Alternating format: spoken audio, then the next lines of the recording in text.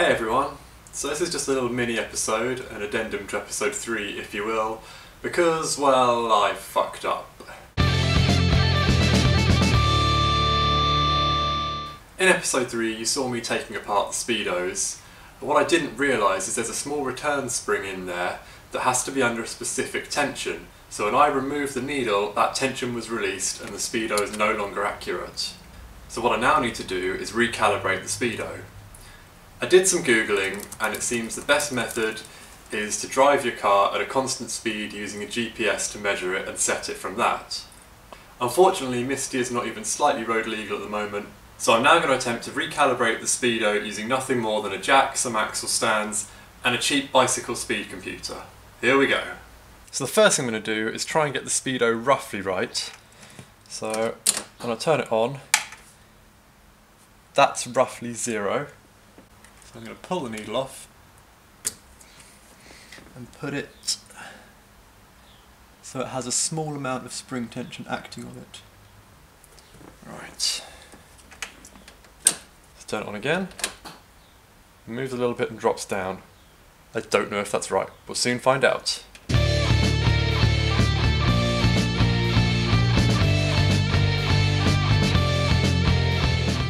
Right, now I've got the rear wheels off the ground. Time to hook up the bike speedo.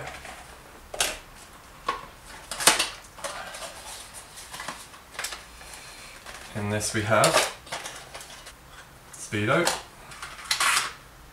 and cable ties, wire and this thing. Now this normally would clip on the spokes of a bicycle and then as it rotates it would trigger this doodad and tell the bike how fast it's going.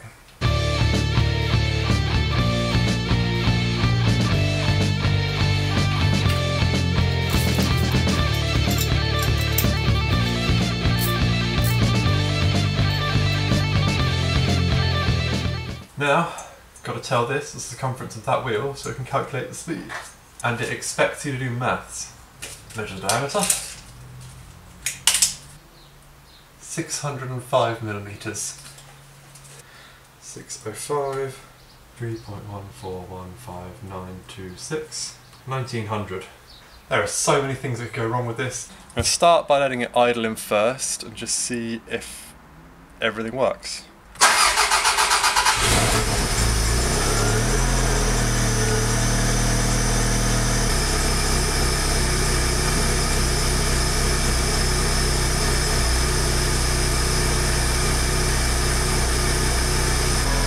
Six miles an hour.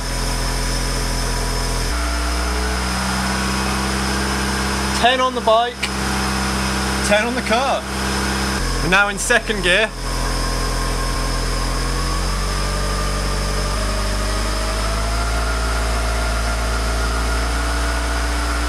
So the car says 20, the bike says 15.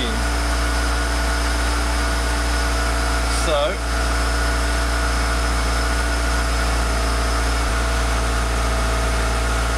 okay, 20 and 20. Got to third gear.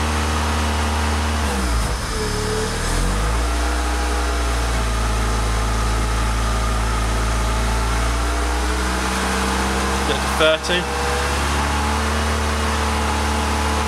30, 30. I think we're good.